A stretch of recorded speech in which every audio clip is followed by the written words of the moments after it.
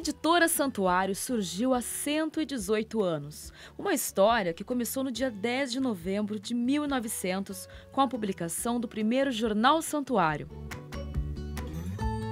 Algo que começou com a intenção de evangelizar os devotos de Nossa Senhora Aparecida, se consolidou e se transformou em uma das maiores editoras e gráficas do país.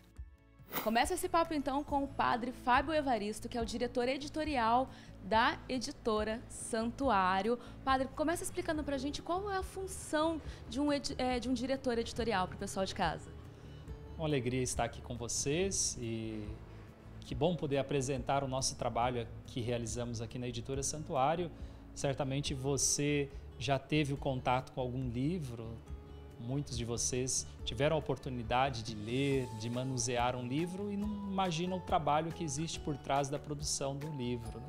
E aqui na editora a gente a gente faz o livro nascer, a gente faz a gestação do livro, né? Como como a mãe que dá a luz ao filho, nós aqui na editora damos a luz damos vida aos livros. Como o senhor disse, com certeza alguém aí em casa deve ter um Deus conosco, uma Bíblia da editora Santuário, mas além dos livros religiosos, a editora Santuário também produz outros, é, outros livros que eu não sabia, padre. Olha só.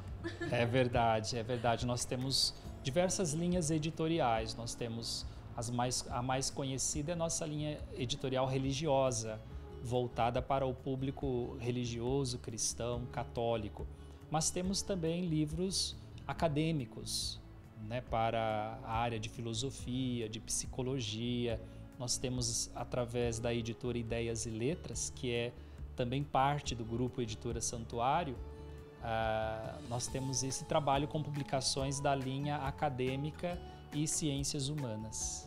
E aqui também tem a gráfica, né? Explica pra gente a diferença entre o trabalho de uma editora e o trabalho de uma gráfica. É, é bem distinto o trabalho de uma editora e de uma gráfica. A gráfica, ela está mais próxima de uma indústria. Né? Ela simplesmente imprime os, o, o material que recebe. A editora, por sua vez, ela cuida da edição do livro. Então, ela prepara o livro dando forma para ele, né? Uma, dando Recebe o material cru e dá, dá vida para aquelas letras ali no, no, no, papel. Exatamente, a gente distribui né, aquelas, aquelas palavras, aquelas letras, as frases de uma maneira agradável. Uh, fazemos a, o trabalho técnico de revisão de português, de preparação do texto e fazemos o, projeto gráfico do livro. E depois dele pronto, aí a gente encaminha para a gráfica. A gráfica faz então o processo de imprimir o livro e entregar para a editora pronto. Né? Ela presta um serviço para a editora. Bom, são muitas etapas, é lógico que a gente não vai poder mostrar todas, porque não daria tempo, mas a gente vai mostrar algumas dessas etapas para vocês. Continue aí acompanhando a matéria. E aqui é a sala das revisoras. Olha só essa equipe aqui. Quem vai me receber é a Ana Lúcia. Tudo bem, Ana Lúcia? Você que é a responsável. É, eu faço a coordenação dos trabalhos, né? Dos livros que a gente recebe aqui para produzir qual é de fato o seu trabalho? Já me explicaram mais ou menos, mas como que a pessoa de casa ela pode imaginar a partir do momento que um texto chega para você, qual é o passo? Então, o, o texto chega para a gente primeiramente é, digitado uhum. em Word, que a gente fala simples. Aí a gente vai trabalhar fazendo a primeira revisão do livro no Word, né? Que vai fazer a primeira, as primeiras organizações, fazer a parte, é, a primeira correção, preparar o livro para ser diagramado. Seria uma parte visual das letras, mais ou menos isso? Ainda não. É, na verdade, é um primeiro passo que a gente dá a primeira limpeza no texto. Tira o grosso, digamos assim. grosso. É, padroniza, porque às vezes não chega padronizado. Então a gente coloca onde vai ter, divide subtítulos, títulos, quando não vem para a gente organizar. Às vezes já vem. E existe um curso para quem gostaria de trabalhar nessa área? Olha, nós aqui somos formadas em é, faculdade de letras, né, português. É, por aqui, no Vale do Paraíba, nós não temos, mas eu sei que já existem algumas coisas em alguns cursos em São Paulo. Então, os apaixonados por, por letras e livros pode é, ter isso como uma profissão também, pode se interessar por essa área e dá para se especializar. Dá e é um mercado que está faltando pessoa para trabalhar. Gostei da dica, hein? De, quem gosta de ler, que gosta de trabalhar com, com letras, né? Que, que tem Às vezes as pessoas nem sabem, né? Exatamente. Existe gente... essa profissão que dá para se especializar nisso. Para essa turma jovem aí que tá é, se se interessar por esse tipo de trabalho, é um campo que precisa de profissional. Pronto, cumprindo as etapas, daqui eu vou para onde, Ana Luz? Aí vocês vão é, para o trabalho que é o que eu te falei, de diagramação. Daí ele vai fazer é, a, a prova, vai, vai diagramar o livro e vai voltar pra gente em provas assim.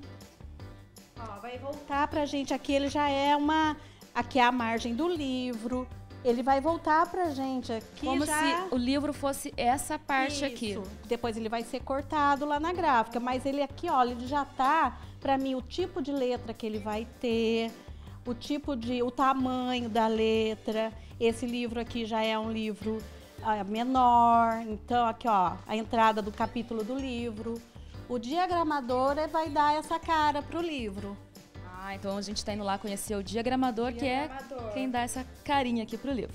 E depois do texto preparado, ele vem então para a diagramação, né? Como a Ana Lúcia disse.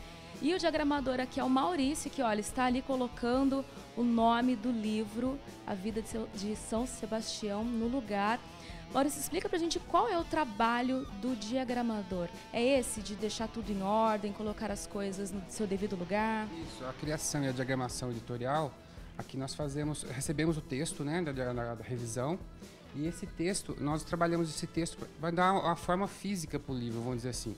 É, nós criamos as capas, fazer a diagramação das capas, a criação das capas. É, no caso deste aqui é uma coleção, então já tem um, um layout pré-definido. É, e também é, diagramamos o miolo dos livros, né? O miolo é o que vem de lá da, da, da equipe da Ana Lúcia, no caso, né? Não, é o texto. Isso. Aqui temos o livro pronto, então tem as capas. A capa e o Isso. miolo. Isso seria o miolo, né? É o miolo do livro. Então nós fazemos o projeto gráfico, que é definir o tamanho da fonte, né? É, as aberturas dos capítulos, é, esses detalhes, assim. Todos esses detalhes. Então nós temos, temos o texto, vamos dizer assim, cru, né? E nós trabalhamos esse texto visualmente e graficamente. É, de forma esse que tom degradê aqui, por Isso. exemplo, é tudo uma escolha de vocês. Isso, uma escolha da criação. E o próprio nome já diz, né? E a parte mais gostosa seria a capa? A capa é, uma, é o que dá mais prazer, vamos dizer assim, fazer a capa, né? Que é um complemento. A capa é a embalagem do livro, né? Então, e é, geralmente é o no nosso caso aqui, são mais livros preto e branco, e a capa é onde você tem outra oportunidade de trabalhar com cores. E como funciona a negociação com um autor de fora, que ele quer ter o livro dele publicado pela editora Santuário, e você vai fazer uma capa para ele? Ele já te dá uma ideia do que ele quer, ou você faz a capa e manda para ele aprovar? É, é, pode acontecer das duas formas. Às vezes o autor vem com uma ideia pré-concebida já, dizendo assim, ah, eu quero uma capa assim, imagina uma capa assim, Aí você, ah, no caso, a gente avalia se essa capa é viável ou não.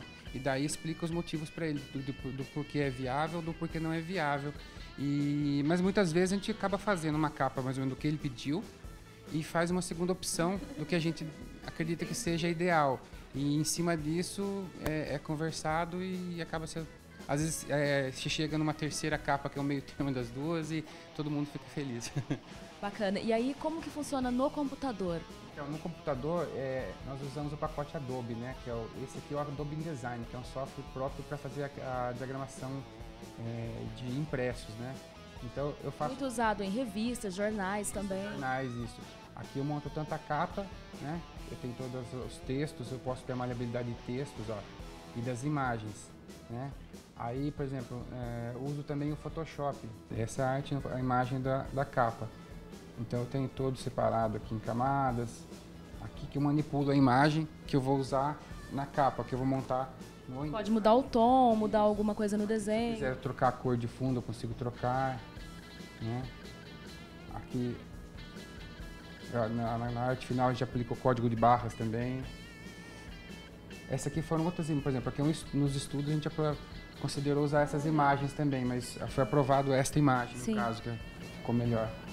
Ó, essa aqui é a imagem original desse aqui. Aquela imagem foi tratada, tá vendo? E aí, pega uma imagem dessa e com o seu olhar você consegue transformar. É, nós manipulamos a imagem, aqui foi feito um recorte, tiramos o fundo, né? Que era para poder dar mais destaque ao título, né? Porque senão aqui fica muito poluído.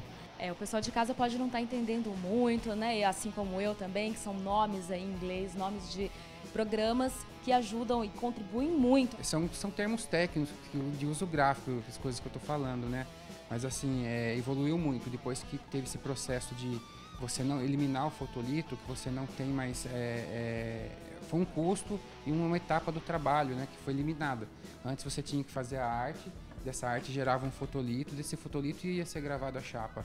Hoje não, hoje você, do que eu tenho aqui é, virtual, aqui do que eu tenho na, na tela do computador, isso aqui praticamente já sai direto na chapa.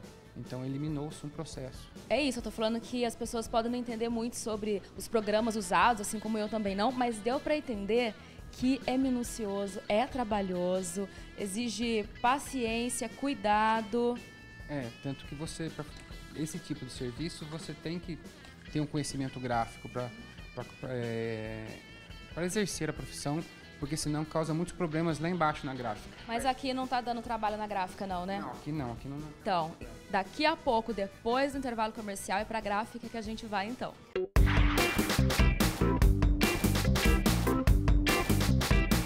E agora eu vim para o CTP, eu tô aqui com a Luísa, que é a coordenadora. Primeiro explica para a gente o que é o CTP, Luísa. CTP é, é quando a gente recebe os arquivos tanto da editora Santuário e de terceiros e a gente põe no, esse PDF no nosso software para fazer o trabalho para mandar para produção. Então, seja um trabalho da, da, da, editora quanto um trabalho de fora, por exemplo, a gente tem aqui o Deus Conosco. Isso. Ele não foi direto para a gráfica, ele primeiro foi feito numa impressora como essa, que é uma impressora uma plotter, né? grandona. Isso. É. Isso aqui é uma plotter que, tira, que faz as provas heliográficas digital que a gente encaminha para o cliente para ele aprovar. Depois de aprovado que a gente dá seguimento para a produção.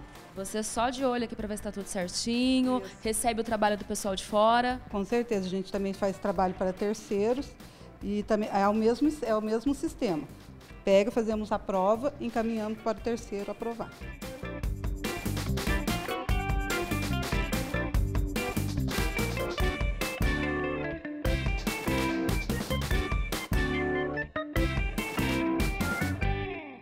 Chegamos ao lugar mais barulhento da editora Santuário. Estou aqui com o Armando, que é supervisor de produção. Armando, que lugar é esse?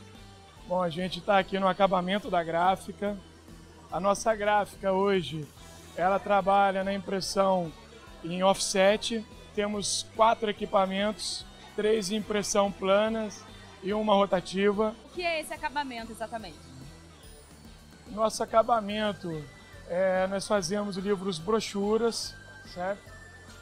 É, é uma referência da empresa hoje no mercado editorial é a lombada quadrada. E... O que seria lombada quadrada? Dá um exemplo aí que a gente procura as imagens. Seria realmente uma lombada quadrada mesmo. Quadradinha, retinha. perfeitinha. Esse é o ideal de chegar no livro. O acabamento nosso, a gente consegue fazer isso. E isso é uma referência de qualidade no mercado editorial hoje. E a nossa gráfica é a referência. O acabamento aqui é quando ele vem da impressão, né? Ele vem todo aberto, então passa-se pelo corte, pela costura, é isso? Isso, passa pelo corte, passa pela dobra, aí depois o livro é alceado, né? O livro ele é separado em vários cadernos e aqui no acabamento a gente une esses cadernos para montar o livro cada setor aqui, então, cada um desses grupos está fazendo uma coisa, inclusive a manutenção ali atrás que a gente está vendo, né? Inclusive está tendo manutenção no equipamento, né? Que também é preciso para a gente conseguir garantir a qualidade e também velocidade, né? Velocidade nos permite reduzir custo aí também. Como acontece a logística entre os funcionários? Cada um deles é treinado para fazer uma coisa específica? Sim. Os os funcionários eles são divididos já em cada máquina, então eles vão se aperfeiçoando naquele equipamento, mas todos eles conseguem ajudar em outros equipamentos.